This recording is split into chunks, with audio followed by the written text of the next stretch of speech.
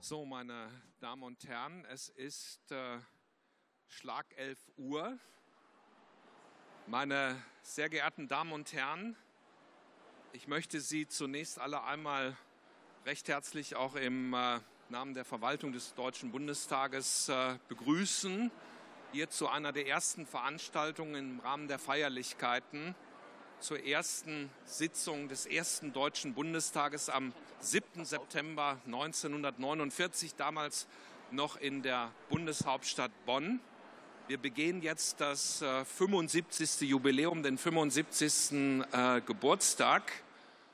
Und äh, dabei wollen wir uns natürlich mit den verschiedenen Fragestellungen beschäftigen. Das Arbeitsparlament äh, Deutscher Bundestag ist ja unterteilt in 25 Ausschüsse. Und äh, vielleicht der Königsausschuss, wenn ich das mal so sagen darf, ist äh, der Haushaltsausschuss des Deutschen Bundestages. Die äh, vormalige Bundeskanzlerin Frau Dr. Merkel hat das mal bei einer Gelegenheit gesagt. Es ist immer noch das Königsrecht des Deutschen Bundestages, über die Ein- und Ausgaben des Staates zu befinden, deren Grundlage ja aus dem Bundesfinanzministerium der Exekutive kommt und die dann hier im Hause beraten und mit parlamentarischer Mehrheit beschlossen wird. Und vielleicht lassen Sie mich, bevor wir in die Debatte einsteigen, ganz anders anfangen. Zehn Tage vor dieser ersten Sitzung des ersten Deutschen Bundestages 1949 war der 200. Geburtstag des großen Universalgelehrten Johann Wolfgang von Goethe. Und äh, der hat in seinem berühmten Faust einmal gesagt, nach Golde drängt, am Golde hängt doch alles.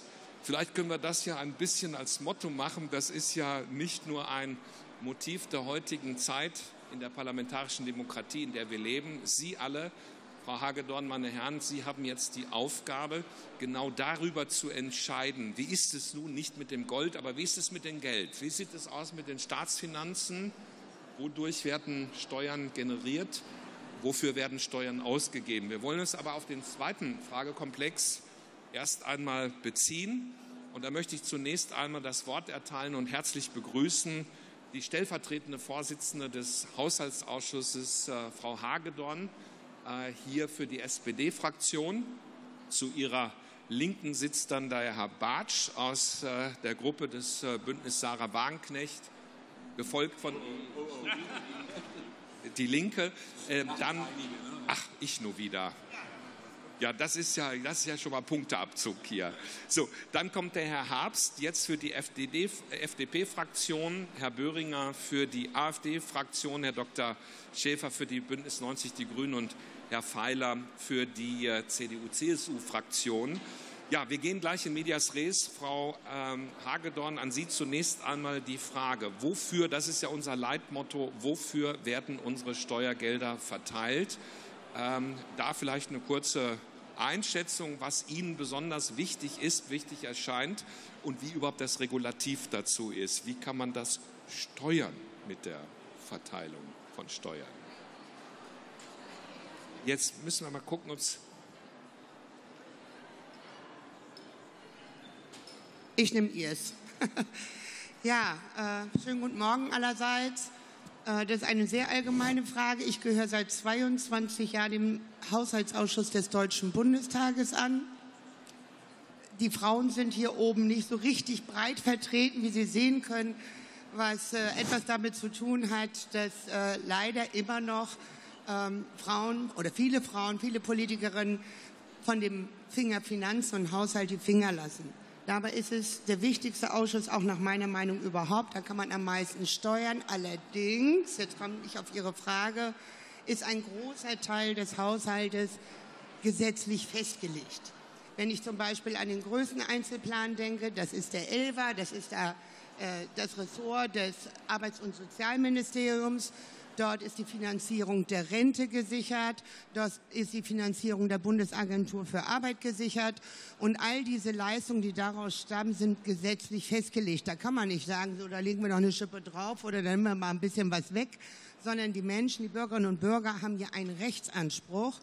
Und äh, insofern, wenn wir den Haushalt so betrachten, was alles gesetzlich festgelegt ist, dann ist der tatsächliche Spielraum wirklich nicht so groß, wie man denkt. Wir reden immer über Milliarden. Ja, das stimmt. Das ist viel Geld. Aber im Verhältnis zu dem Bundes, zu der Größe des Bundeshaushaltes insgesamt ist der Spielraum dann doch nicht mehr ganz so groß. Wir legen in den letzten Jahren zunehmend, und zwar schon unter der letzten Regierung, auch unter dieser Regierung, den Schwerpunkt auf Investitionen. Das ist für unser Land super, super wichtig. Wir, äh, in, wir müssen den Unternehmen in unserem Land Planungssicherheit über langfristige Sicherung von Investitionen in ihren Bereichen geben, damit sie hier investieren, damit sie die Arbeitsplätze erhalten und damit wir eine der größten Exportnationen dieser Welt bleiben, weil davon hängt unser Wohlstand ab. Ja, Frau Hagedorn, Sie legen schon, ich höre das äh, heraus, schon mal ein Schwergewicht auf die Verbesserung, äh, Förderung von Infrastruktur, auch der wirtschaftliche Aspekt. Äh, wie sehen die Herren das? Unterstützen Sie das, äh, Herr Bartsch? Ich gehe einfach mal der Reihenfolge nach. Ja, das ist ja schön, dass Sie die Reihenfolge nehmen und nicht die Größe. Äh, da bin ich mal weit vorne. Also ich stimme äh, Frau Hagedorn insoweit zu ähm, der Haushalt der Bundesrepublik Deutschland klingt sehr gewaltig, mehrere hundert Milliarden. Und Fakt ist, dass sehr, sehr viel gesetzlich gebunden ist, wo man wenig Gestaltungsspielraum hat. Trotzdem ist es so, dass dieser Haushalt natürlich nicht nur das Königsrecht ist, sondern da werden Entscheidungen über die Zukunft des Landes getroffen. Und ich im Gegensatz jetzt zu Bettina Hagedorn kritisiere, dass wir zum Beispiel viel zu wenig in die Zukunft investieren. Und da ist ein großes Thema natürlich, wie wollen wir politisch agieren? Das unterscheidet die politischen Formationen. Wo werden Schwerpunkte gesetzt? Ich bin auch der Auffassung, dass wir nicht etwa im sozialen Bereich in der Infrastruktur sparen sollten, aber zum Beispiel bei den Ausgaben für Verteidigung, da ist diese permanent zu steigern in einer Krisensituation, da finde ich, ist ein Problem. Deswegen ja, Haushaltsausschuss hat das Königsrecht. Die Summen, die wir dort bewegen, sind gewaltig, aber wir müssen über die Rahmen nachdenken, sprich über die Einnahmen reden, über das Thema Schuldenbremse reden und über die Perspektive. Das ist Aufgabe des Haushaltsausschusses. Und gestatten Sie mir einen letzten Satz. Natürlich haben Haushalte in gewisser Hinsicht eine gemeinsame Fraktion. Denn die Fachpolitiker, ob es Verkehrspolitiker, Sozialpolitiker oder, oder, oder sind, die haben natürlich ganz, ganz viele Ideen, was man noch alles machen könnte. In der Regel vernünftig oder sagen wir mal unterschiedlich bewertet. Und Haushalte haben die verdammte Pflicht und Schuldigkeit, danach zu schauen, was sind die Einnahmen, was sind die Rahmen und wo setzen wir Schwerpunkte.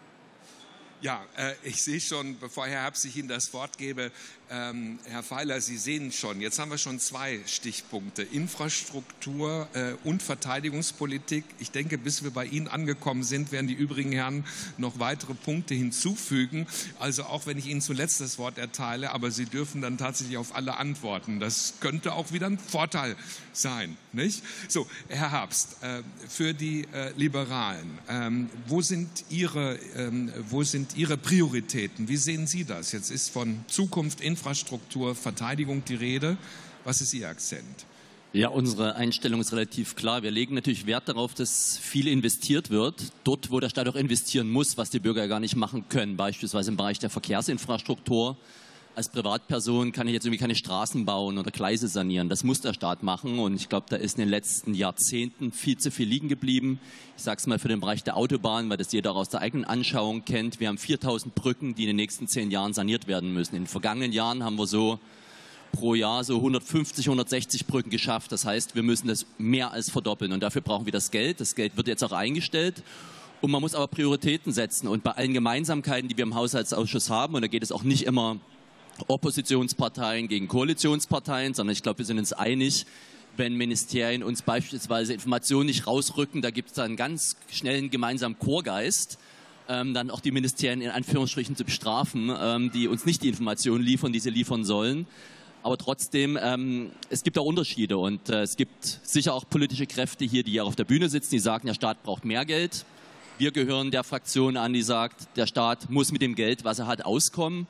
Denn auch was wir investieren als öffentliche Hand in Deutschland, das ist nicht nur Bundestag, das sind ja Länder und Kommunen auch, macht ja nur 15 Prozent des gesamten Investitionsvolumens aus. 85 Prozent investiert die Wirtschaft und für die brauchen wir attraktive Rahmenbedingungen. Da müssen wir auch steuerlich entlasten, damit die die Kraft haben und den Freiraum, zu investieren. Und da haben wir als Staat auch wieder mehr Geld, wenn die Wirtschaft läuft. Ja, Herr Böhringer, das Wort ist an Ihnen. Ja, danke, Herr Wagner. Guten Morgen, meine Damen und Herren. Ich möchte auch noch mal aufgreifen, was eben schon gesagt wurde.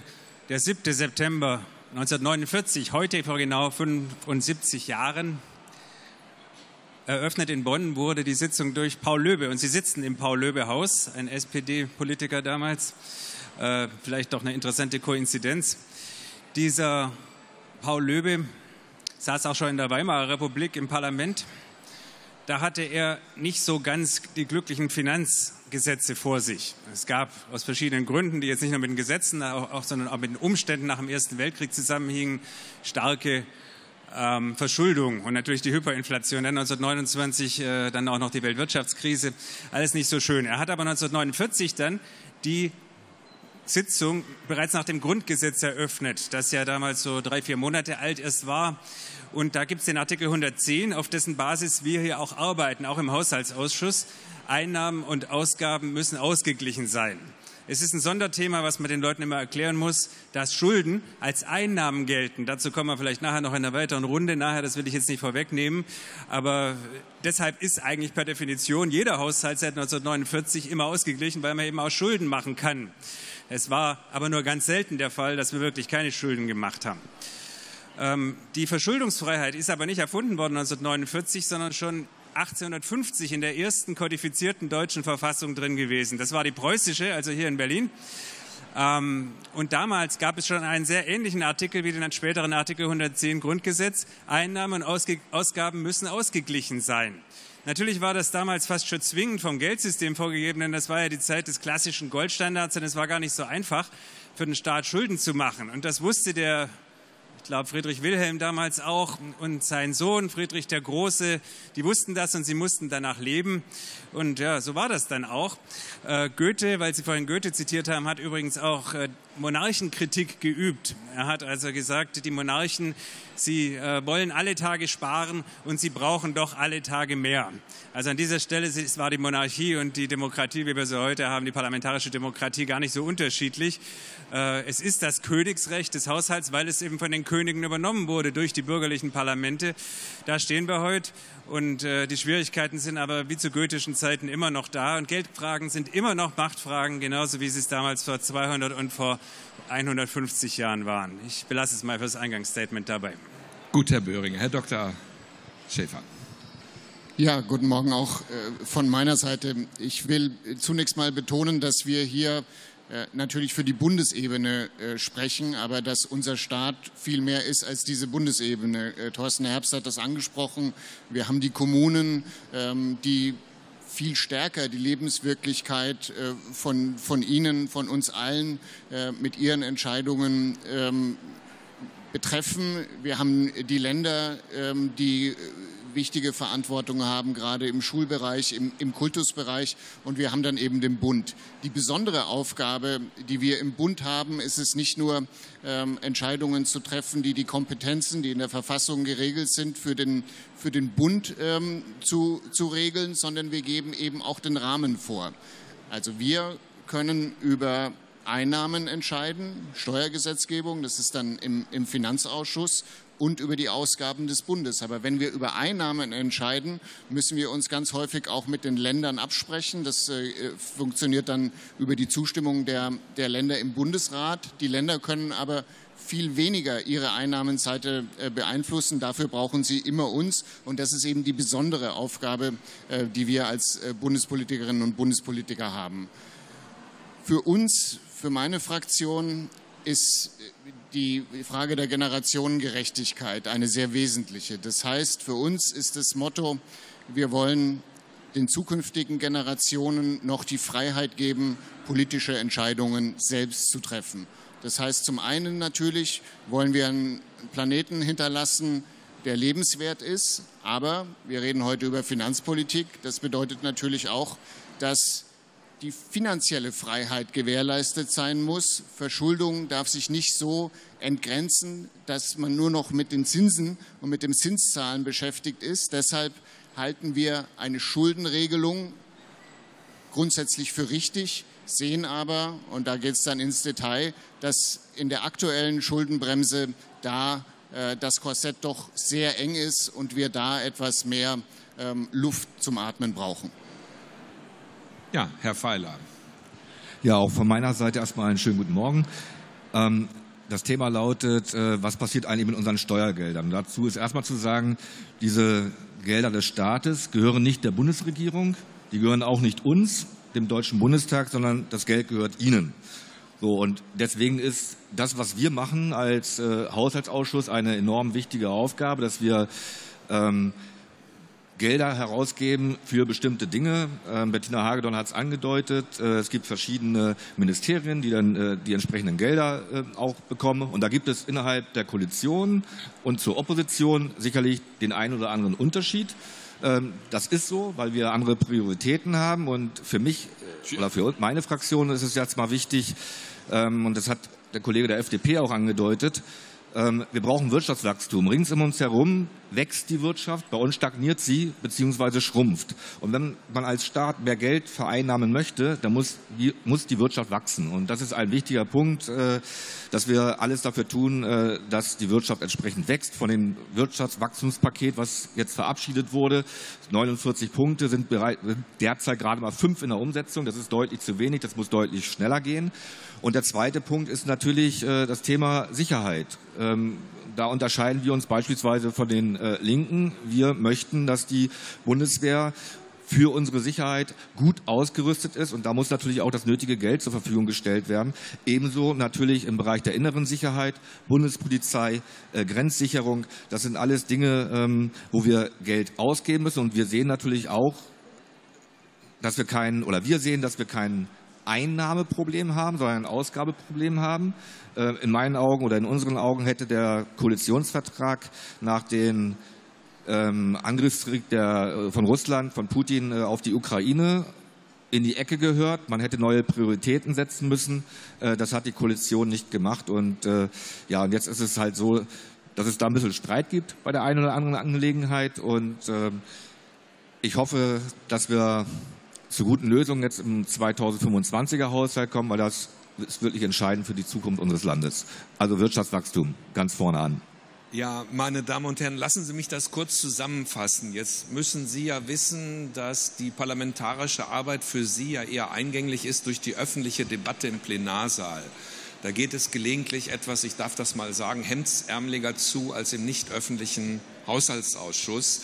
Sie haben ja eine weitaus pragmatischere Ebene als äh, in der öffentlichen Auseinandersetzung. Und wenn ich jetzt höre, dass Sie ja in ganz vielen Dingen auch über die Ampelkoalition und die Oppositionsparteien Übereinstimmung signalisieren, ist ja jetzt die Frage der Gewichtung. Das ist ja das Punkt. Sie alle wollen ja aus Ihrer Position das Beste für das Volk. Sie, Herr Dr. Bartsch, haben es ja gesagt, das ist ja das Geld, das nicht Ihnen gehört, aber Sie sind ja gemäß Grundgesetzes ähm, beauftragt, das Geld zu verwalten. Also Sie haben ja schon alle den Auftrag. Aber jetzt ist die Frage, wenn wir uns damit beschäftigen, äh, Sie haben verschiedene Wünsche, überschneidende Wünsche geäußert, wie regeln wir das jetzt, wenn nur eine bestimmte Summe Geldes zur Verfügung ist, aber die Notwendigkeiten, Herausforderungen, äh, Bedürfnisse mehr und höher sind als das Geld. Wie kann man das regulieren? Und dafür Sie, Frau Hagedorn, jetzt ähm, äh, oder an Sie die Frage, ja, es ist ja verfassungsgemäß auch vereinbart eine Schuldenbremse. Vielleicht können wir uns über diesen, dieses Schlagwort, das ja öffentlich auch bekannt ist, mal einmal nähern. Und äh, wie stehen Sie jetzt dazu ähm, als Haushaltsausschussvorsitzende, aber auch Gleich, da sind Sie ja politisch neutral, aber Sie dürfen ja jetzt natürlich auch eine SPD und müssen ja auch eine SPD-Fraktion beziehen. Wie stehen Sie dazu? Ist das richtig? Wenn nicht, was sollte man aus Ihrer Sicht tun? Ja, als ich anfing, dem Haushaltsausschuss des Bundestages anzugehören, hatten wir eine rot-grüne Regierung und der Finanzminister hieß Hans Eichel. Sein Nachfolger war Peer Steinbrück, dann kam Wolfgang Schäuble, dann kam Olaf Scholz, jetzt kommt Christian Lindner da und ich habe sie alle live erlebt. Und darum will ich an dieser Stelle sagen, ja, ich war dabei, als wir 2008, 2009 die Schuldenbremse eingeführt haben. Und ich habe es aus tiefster Überzeugung mit Ja gestimmt und ich habe es auch immer verteidigt und für richtig gehalten, dass wir das damals so gemacht haben. Wir hatten damals aber eine andere Zeit. Wir hatten 40 Milliarden Euro Zins, Zinsen zu zahlen bei einem Haushalt, der ungefähr halb so groß war wie der jetzige. Und diese Zinslast hat uns erwürgt. Sie hat uns das Geld genommen für Investitionen und für Zukunftsaufgaben, die für unser Land wichtig waren. Und darum, es war einer der Gründe, wir hatten eine Finanz- und Wirtschaftskrise 2008, Sie werden sich vielleicht noch dunkel erinnern, das war die Zeit, als wir diese Schuldenbremse ins Grundgesetz eingeführt haben letzten Endes, um vor allen Dingen zu verhindern, dass ein Habitus, der sich seit 1967 hat es kein Bundeshaushalt gegeben ohne neue Schulden. Und dabei hat sich eingeschlichen, dass man gerade im konsumtiven Bereich immer mehr Geld ausgegeben hat und immer weniger für Zukunftsinvestitionen da waren, weil die Zinsen so hoch waren. Das ist über 15 Jahre her. Und ich finde es richtig, wenn Politiker allgemein gesprochen ihre Gesetze nach 15 Jahren, 20 Jahren überprüfen, ob sie überhaupt noch den aktuellen Rahmenbedingungen entsprechen. Und dabei müssen wir ganz klar sagen, nein, tun sie nicht. Ich stehe zur Schuldenbremse, aber ich stehe vor allen Dingen zur Reform der Schuldenbremse, für die wir in dieser Regierung leider aktuell keine Mehrheit sehen. Es gäbe viele Instrumente unterhalb der Reform der Schuldenbremse, die mit zwei Drittel Mehrheit durch Bundestag und Bundesrat, also wir brauchen nicht nur die FDP, sondern auch die CDU, CSU. Ich bin ziemlich sicher, nach der nächsten Bundestagswahl wird es in diesen beiden Fraktionen auch anders betrachtet als jetzt. Ähm, das bräuchten wir, aber es gibt Instrumente unterhalb, um zum Beispiel mit Blick auf die Ukraine die unterstützen wir ja nicht nur militärisch, sondern auch humanitär und wirtschaftlich. Und daran hängt die Freiheit und die Demokratie in Europa. Das ist meine tiefste Überzeugung.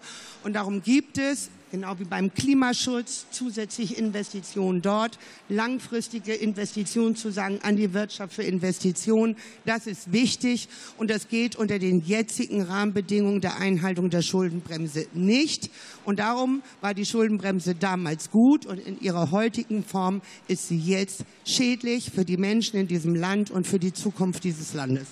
Herr Dr. Bartsch, Frau Hagedorn sagt jetzt gerade, sie brauche die CDU-CSU. Ich denke, Ihre Wählerinnen und Wähler sagen, die Linke wird jetzt auch besonders gebraucht. Wie stehen Sie dazu, zu der Schuldenbremse? Ach, wissen Sie, über die Linke und ihre Probleme reden wir jetzt mal nicht, weil das würde den Rahmen hier sprengen. Aber ich will zur Schuldenbremse Folgendes sagen. Erstens, jede Veränderung bedarf einer Zweidrittelmehrheit. Und eine Zweidrittelmehrheit ist absolut nicht in Sicht, wenn dann nach der nächsten Bundestagswahl, im Übrigen auch im Bundesrat. Das ist die erste Bemerkung. Die zweite Bemerkung ist, wenn die Schuldenbremse so toll ist, dann frage ich mich, wieso über 90 Prozent der Länder dieser Welt keine Schuldenbremse haben. Und wir finden die gut und wir finden die geil. Ich will zumindest die Frage stellen. Bei uns wird ja suggeriert, wer gegen die Schuldenbremse ist, der ist für die Aufnahme von ganz viel Schulden. Der will den, das Land ans Ende bringen. Das ist Unsinn. Ich habe damals aus Überzeugung dagegen gestimmt und finde auch heute, dass es dringend einer Reform dieser Schuldenbremse bedarf. Denn wir sind uns ja einig, dass zum Beispiel die Sicherheit Deutschlands, darum geht es nicht. Aber wenn ich mir überlege, dass Milliarden in Afghanistan versenkt worden sind, Milliarden in Mali, das ist genau das Geld, wo wir anders agieren könnten. Darum geht der Streit.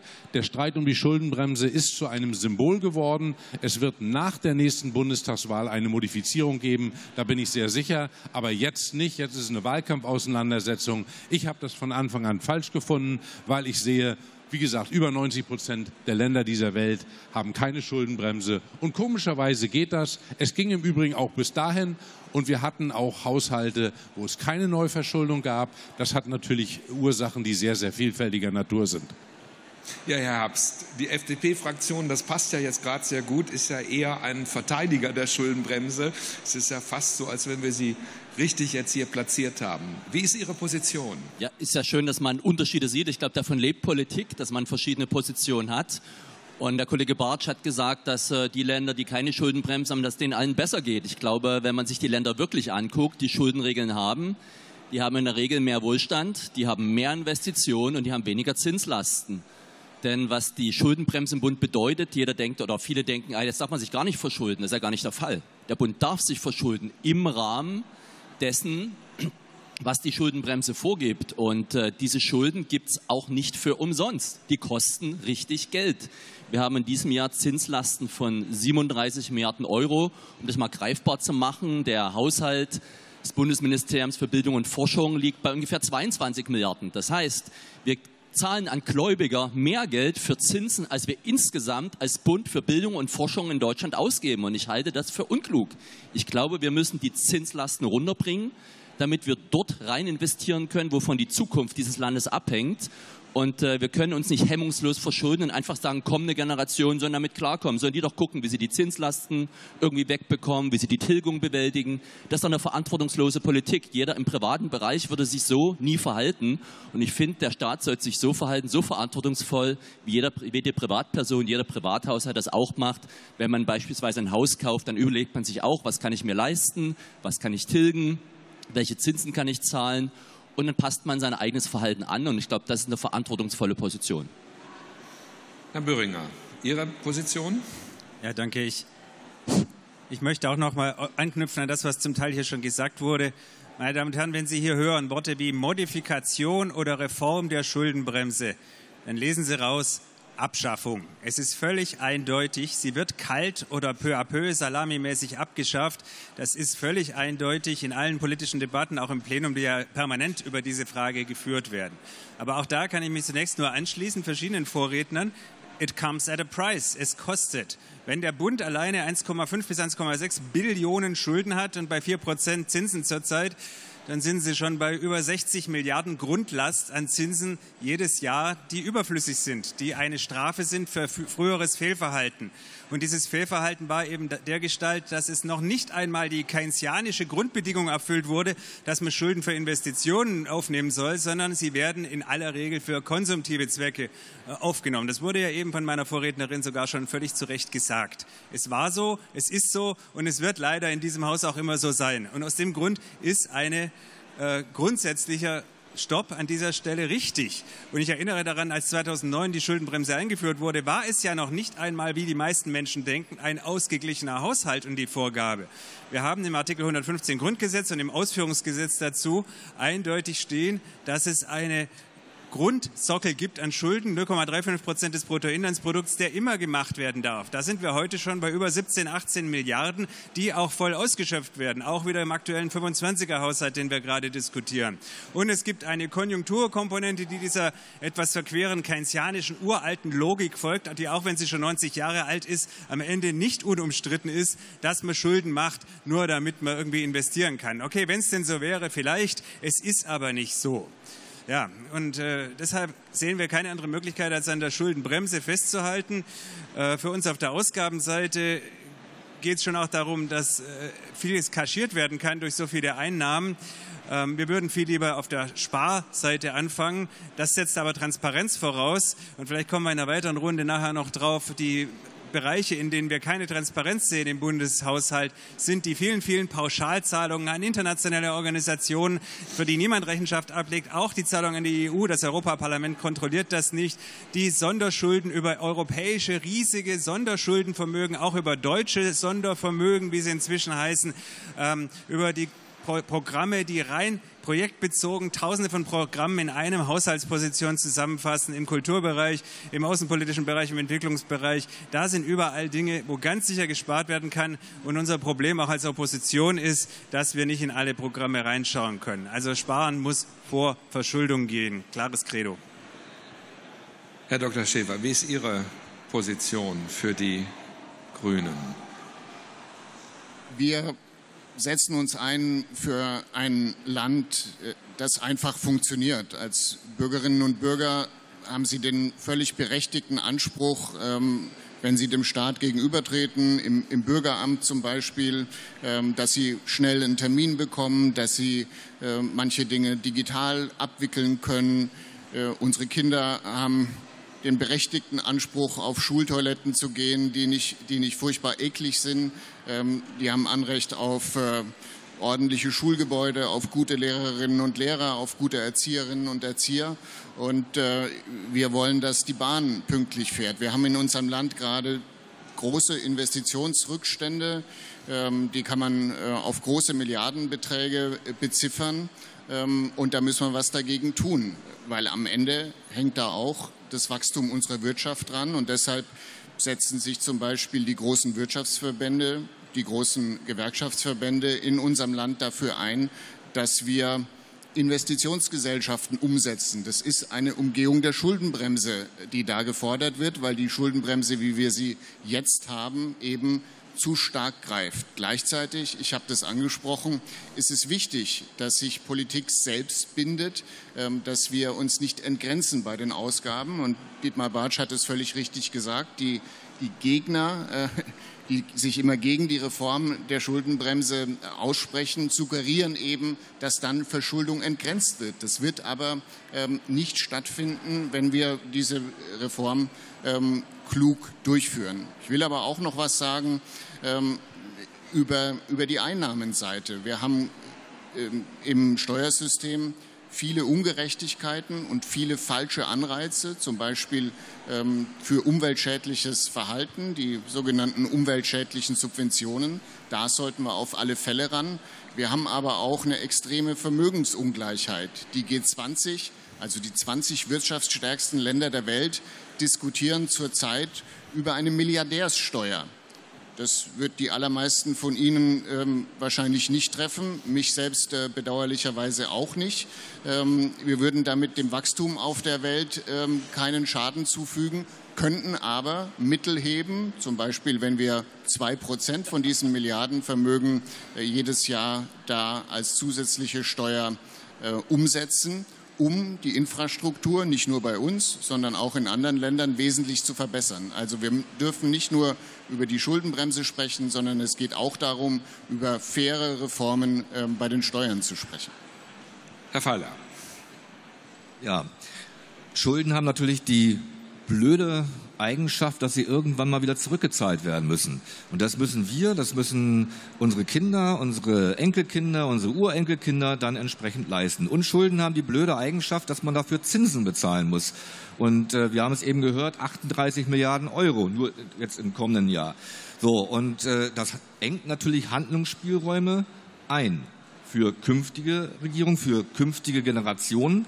Und deswegen ähm, ist das, was 2008 gemacht wurde, diese Schuldenbremse einzuführen, richtig. Und sie ist auch richtig gut eingeführt worden, weil sie nämlich eine Flexibilität in sich hat.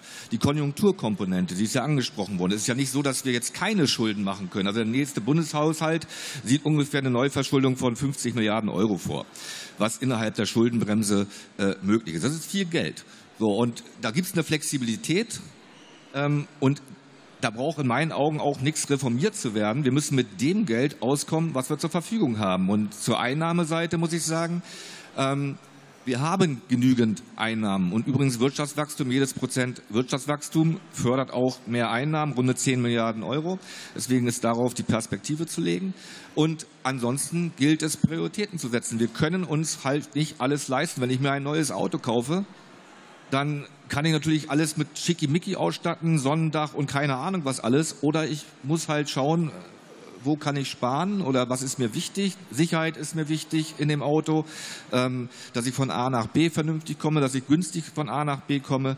Ähm, aber einen Schickimicki braucht man nicht. Also was nice to have ist, muss nicht alles sein, sondern wir müssen mit dem Geld auskommen, was wir tatsächlich zur Verfügung haben. Ja, Frau Hagedorn, meine Herren, ich muss jetzt schon so ein bisschen auf die Uhr gucken. Wir hatten uns jetzt so ein bisschen auf das Thema Schuldenbremse eingelassen. Daraus ergeben sich natürlich eine Reihe weiterer Fragen. Wenn ich jetzt so schon allmählich die Schlussrunde einleite, niemand von uns weiß ja, wie sich der nächste, der 20. Deutsche Bundestag äh, in seiner parlamentarischen Mehrheit zusammensetzen wird. Wie auch immer, das werden wir ja alle zusammen sehen im nächsten Jahr. Aber deswegen verändern sich ja Positionen der einzelnen Fraktionen nicht, auch wenn es nachher andere parlamentarische Mehrheiten gibt. Sie, Frau Hagedorn, haben jetzt eben den Kopf geschüttelt, als Herr Böhringer Sie sagten, das ist eine faktische Aussetzung der Schuldenbremse. Damit sind Sie ja jetzt offenbar nicht einverstanden mit der Position. Wie sieht es aus? Was ist die Strategie jetzt für die SPD fürs Weitere? Mit der Schuldenbremse. Sie haben von der Reform gesagt, dass Sie dann noch mal abschließend zwei Sätze zu sagen und die übrigen Herren dann noch mal aus der Position.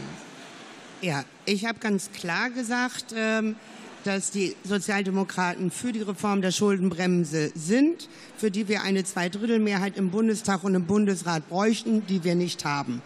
Und ich habe hier vorhin auch schon prognostiziert, dass nach der nächsten Bundestagswahl auch die demokratischen Fraktionen, die jetzt gegen die Reform der Schuldenbremse sind, ihre Meinung dazu verändern werden, um zu den Mehrheiten zu kommen.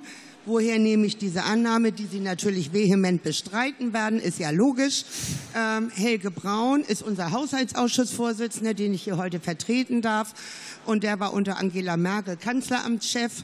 Und da hat im Januar, glaube ich, oder Februar 2021, also vor der letzten Bundestagswahl, in einem großen Namensartikel äh, schon für ein Nachdenken über eine Reform der Schuldenbremse, nicht über eine Abschaffung, über eine Reform der Schuldenbremse laut nachgedacht. Er ist damals nicht von den Sozialdemokraten und Grünen zurückgepfiffen worden, sondern von seinen eigenen Leuten. Es war ein Tabuthema und Friedrich Merz müsste, möchte es bis zur nächsten Bundestagswahl noch wie eine Monstranz vor sich hertragen.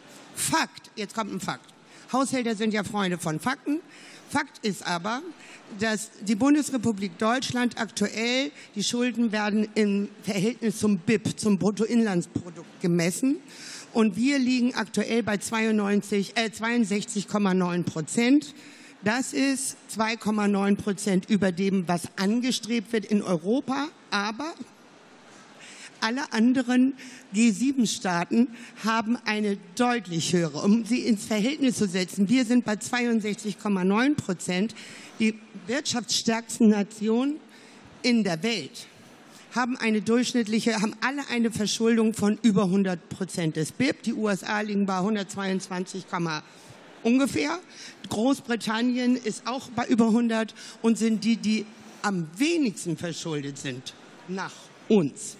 Das heißt, in dieser Situation ist es für die Finanzstabilität unseres Landes überhaupt nicht erforderlich, dass wir uns an diese 60 Prozent klammern, sondern es ist erforderlich, dass wir das Geld langfristig bereitstellen, auf das die Wirtschaft, auf das auch zum Beispiel in unserer geopolitischen Situation, auf die die Welt wartet, dass wir Zusagen treffen können. Das können wir in diesen erforderlichen Maßnahmen nicht. Und die Sozialdemokraten werden alles dafür tun, dass nicht der Rotstift zur Gegenfinanzierung im sozialen Bereich angesetzt wird. Und vor dem Hintergrund, diese Koalition hat sich versprochen, die Schuldenbremse einzuhalten und die Steuern nicht zu erhöhen. Das war allerdings 81 Tage vor Ausbruch des Ukraine-Krieges, also des Überfalls Putins auf die Ukraine. Und das hat alles verändert. Und wir mussten Milliarden in die Hand nehmen, um zum Beispiel dafür zu sorgen, dass im darauffolgenden Winter bei den Menschen äh, es nicht kalt in der Wohnung wurde. Wir haben die Menschen, wir haben die Wirtschaft unterstützt mit Milliarden. Das war nicht geplant.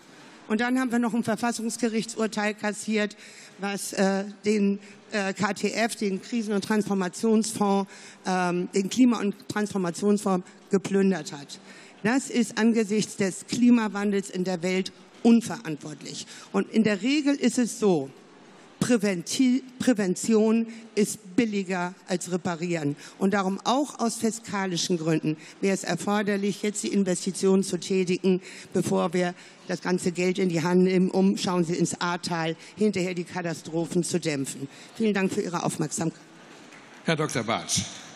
Also ich versuche es kurz zu machen. Ich bin erstens sicher, dass nach der nächsten Bundestagswahl die derzeitige Form der Schuldenbremse reformiert werden wird. Und da wird auch die andere ganz große, Koalition, äh, ganze große Partei verdammt gerne mitmachen. Das wird so sein, weil es erforderlich ist. Weil es geht aktuell nicht um Schickimicki, es geht um die Handlungsfähigkeit des Staates. Und wir sehen, dass wir dort in einem wirklichen Rückstand geraten sind. Und da geht es nicht nur um Brücken, Schulen, was hier schon genannt worden ist, sondern um viele Punkte. Bei der jetzigen Schuldenbremse, ich will das auch sagen, es gehört mit zur Wahrheit, dass natürlich auch über die verbrieften 0,35 Prozent Natürlich kann sie immer in einer besonderen Situation, ich sage mal in Anführungsstrichen, ausgesetzt werden, damit es verständlich ist. Das ist ja in, im Übrigen in der Pandemie passiert. Deshalb, ich glaube, dass wir wegkommen müssen von dieser Denke, jeder, der überhaupt über die Schuldenbremse und deren Veränderung nachdenkt, ist einer, der Schulden machen will. Großer Unsinn. Wir müssen bei Ausgaben schauen, was ist nicht nötig. Wir müssen bei Einnahmen schauen, dass wirklich der Zusammenhalt des Landes gewährleistet ist. Und wir dürfen nicht diesen Fetisch der Schuldenbremse ganz weit oben tragen. Der ist nämlich aus meiner Sicht real Unsinn. Auch schon jetzt wäre es möglich, Milliarden, und das hat diese Koalition in dem Fall zu Recht gemacht, bei der Pandemie an Schulden aufzunehmen. Herbst. Ja, ich finde, die Schuldenbremse ist sehr, sehr klug gemacht, weil sie nicht nur die Handlungsfähigkeit der Regierungen, auch der Folgeregierung schützt, sondern eben auch kommende Generationen vor Schuldenbergen, die dann unter Zinslasten zusammenbrechen. Und ich sage mal so, ich gebe doch lieber die Milliarde für Bildung, für Verkehrsinfrastruktur, für Digitalisierung, für Steuersenkung aus, als dass ich sie einem Gläubiger in den Rachen werfe. Das ist doch, ist doch eigentlich logisch, dass ich lieber etwas Sinnvolles damit tue, anstatt Gläubiger zu bezahlen, die uns Geld leihen. Das mache ich dann im Privaten genauso. Und wenn ich noch mal eine zweite Dimension mit heranführen darf, das ist die Eurozone. Wir sind das größte Land in der Eurozone.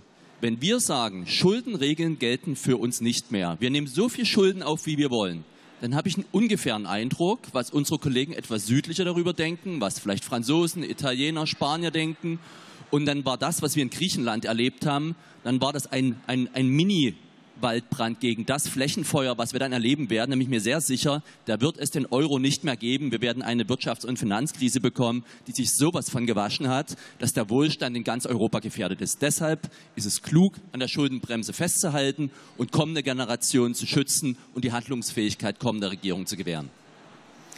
Ja, Herr Böhringer. Ja, wir haben ja jetzt fast die ganze Zeit über den Artikel 115, die Schuldenbremse, gesprochen, aber nicht über den zweiten Absatz des Artikel 115, den ich doch in Erinnerung nochmal rufen will. Das ist die Ausnahme, die haushalterische Notsituation, die 2009 tatsächlich schon ins Grundgesetz geschrieben wurde. Und das ist ja nicht nur akademisch, sondern seit 2020 massiv realpolitisch geworden. Schon die Merkel-Spahn-Regierung, ich sage bewusst Merkel-Spahn-Regierung, äh, 2020 hat zweimal diesen Haushalts Notsituation wegen Corona ausgerufen, wie wir heute wissen, auf Basis einer Lüge. Es war ganz viel verlogen. Das RKI war kein Sachverständiger und darauf beruhten die gesamten politischen und auch die juristischen Einschätzungen. Aber ich will hier das Thema nicht sprengen. Es war jedenfalls eine Lüge, die hunderte Milliarden befreit hat, schon in den zwei Nachtragshaushalten 2020. Das Gleiche ist immer noch unter Merkel 2021 passiert. Das Gleiche ist dann unter der Ampel in den Nachträgen 2021, 22, 23 passiert. Ich behaupte, auch 24 wurde immer noch faktisch diese Notsituation gespielt und 25 wird sie diskutiert. Herr Habeck hat eben wie meine SPD-Vorrednerin das Gleiche schon für die Ukraine ins Spiel gebracht. Das heißt mit verschiedenen Begründungen, Ahrtal, Corona, ähm, indirekt umgewidmet auch Klima, CO2 und eben jetzt demnächst noch Ukraine, werden immer wieder seit fünf, sechs Jahren jetzt, seit fünf Jahren ähm, Notsituationen definiert, teilweise auf verlogener Basis und der Artikel 115.2 gezogen. Was wir also bis jetzt diskutiert haben, war eigentlich nur ein Teil der Wahrheit. Das Grundgesetz selbst sieht vor, was seit fünf Jahren hier Praxis ist in diesem Haus, Hunderte von Milliarden an einem ausgeglichenen Haushalt vorbeizuschleusen. Sonst wäre sowohl die Vorgängerregierung als auch die jetzige meiner Meinung nach schon am Geld und an diesen Paragraphen gescheitert. Aber zum Glück gab es auch den Artikel 115.2. Eine Prognose, das ist ja eben schon geschehen, da möchte ich auch noch eine abgeben. Ich glaube, dass die SPD und der linken Kollege durchaus recht haben mit der Prognose, dass im nächsten Bundestag ein neuer Angriff versucht wird auf die Schuldenbremse des Artikel 115. Bin dann mal gespannt, was eine CDU-geführte Regierung an der Stelle macht. Aber der Kollege kann es ja gleich apodiktisch ausschließen. Dann sind wir an der Stelle auf der sicheren Seite. Vielen Dank. Herr Dr. Schäfer. Ich will noch mal äh, darauf zurückkommen, für wen wir hier am Ende Verantwortung tragen und was unsere Aufgabe ist. Wir vertreten ähm, das, die, das ganze deutsche Volk hier im Deutschen Bundestag und müssen Regeln und Gesetze finden, die das Zusammenleben in unserem Land ermöglichen und möglichst erfolgreich machen.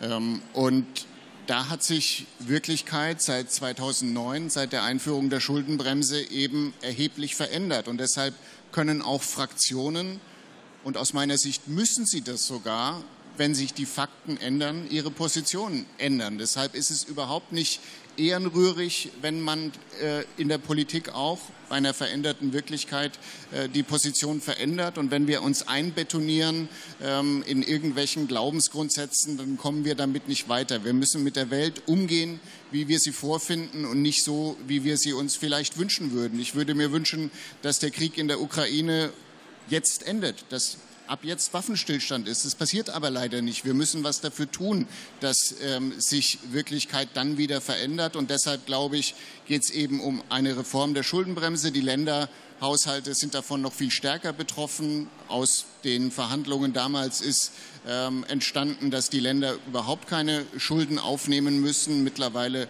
ist es unisono über alle Parteigrenzen hinweg. Ähm, ein anderer Tenor. Die, der Berliner äh, Bürgermeister CDU spricht sich da regelmäßig für eine äh, Veränderung bei der Schuldenbremse aus. Aber nicht nur der, auch der Ministerpräsident von Sachsen-Anhalt und der von Nordrhein-Westfalen, alle CDU. Also da ändern sich Perspektiven, wenn man eben Verantwortung trägt ähm, für dieses Land. Und wir müssen am Ende gemeinsam Lösungen finden, die zukünftige Generationen nicht übermäßig belasten, sondern die eine gute Zukunft für unser Land ähm, zu einer guten Zukunft für unser Land führen. Und dazu gehört eine Reform der Schuldenbremse ohne eine Entgrenzung von Verschuldung.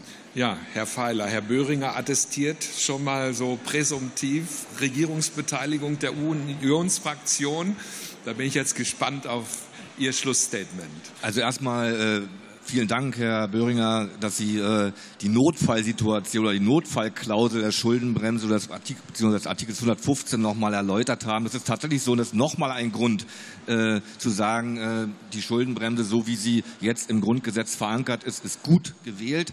Einmal die Flexibilität und die Möglichkeit, im Notfall tatsächlich zu handeln. Und was ein Notfall ist, das entscheiden nicht Sie, sondern das entscheiden wir alle als Parlament gemeinsam. So, und deswegen ist das, was Sie da geäußert haben zu Corona und anderen Dingen, ähm, Ihre persönliche Meinung, Ihre Meinung Ihrer Partei, aber nicht die Meinung äh, der überwiegenden Mehrheit dieses Hauses. Das ist der erste Punkt.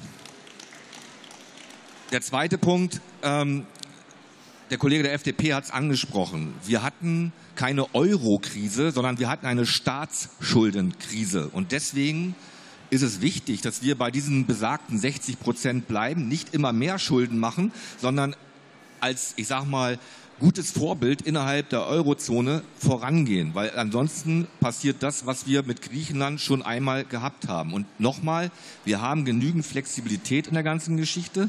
Eben ist es noch angesprochen worden, was äh, die Bundesländer betrifft. Und ja, auch in äh, meiner Partei gibt es Ministerpräsidenten, die sich äh, eine Reformierung äh, vorstellen können. Und da muss ich sagen, ähm, auch in den Ländern gibt es bestimmte Flexibilitätsmöglichkeiten. Und äh, auch dort muss geschaut werden, wie komme ich mit dem Geld, was ich zur Verfügung habe, zurecht. So, und das wird mit Sicherheit eine Diskussion geben, aber die klare Ansage, die wurde ja eben auch gefordert, äh, der CDU-CSU-Bundestagsfraktion ist, die Schuldenbremse bleibt so bestehen, wie sie jetzt im Grundgesetz verankert ist. Dankeschön. Ja, meine Damen und Herren Abgeordneten, ich darf dann diese sehr spannende Podiumsdiskussion beenden und darf ein Wort von Ihnen, Frau Hagedorn, aufgreifen, das Sie eben haben äh, gegeben. Sie haben davon gesprochen, Haushalter lieben Fakten. Und äh, ich denke, da sind sich äh, Ihre parlamentarischen Kollegen alle einig in der Frage und ich darf das dann auch ins Publikum transportieren dass das, was Sie gesehen haben, hier partei- und fraktionsübergreifend durchaus eine spannende, konstruktive Debatte war, wo Gegensätze deutlich wurden, wo aber auch Übereinstimmungen deutlich werden. Und Sie können sicher sein, wenn weiterhin mit diesem Sachverstand pragmatisch gearbeitet wird, dass äh, aus jeder Sicht das Beste für uns alle dabei rauskommt. Vielen Dank, Frau Hagedorn, meine Herren. Ich wünsche Ihnen allen für Ihre parlamentarische Zukunft alles Gute.